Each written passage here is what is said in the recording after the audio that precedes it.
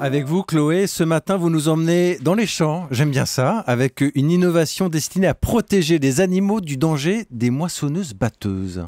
Oui, avec l'été, l'heure des moissons approche et on n'y pense pas forcément, mais ces gros engins sont en fait mortels pour les petits gibiers, qui habitent dans les champs, comme les lièvres, les faisans ou même des petits fans qui se reposent et qui se font régulièrement happer par les faucheuses. Et les lâchers de chiens qui se font parfois juste avant ne sont pas suffisamment efficaces pour les faire fuir. Alors, des petits astucieux ont inventé une barre d'effarouchement. Une barre d'effarouchement, c'est joli, mais c'est quoi euh, Eh bien, en fait, c'est tout simple. C'est une longue barre munie de tiges. Bon, c'est pas facile, facile à décrire. C'est placé à l'avant des cabines de tracteurs, à peu près au ras du sol, et elle effleure les petits animaux juste à temps pour qu'ils aient euh, justement le temps de se pousser sur le côté avant le passage des lames. Et ce qu'il y a de remarquable, me dites-vous, c'est que cette innovation a été inventée par de très jeunes inventeurs. Oui, des élèves de première année en CAP en serrurerie métallique au lycée professionnel de Boulay-Moselle. Ils comptent bien vendre leur concept aux agriculteurs de leur région et pourquoi pas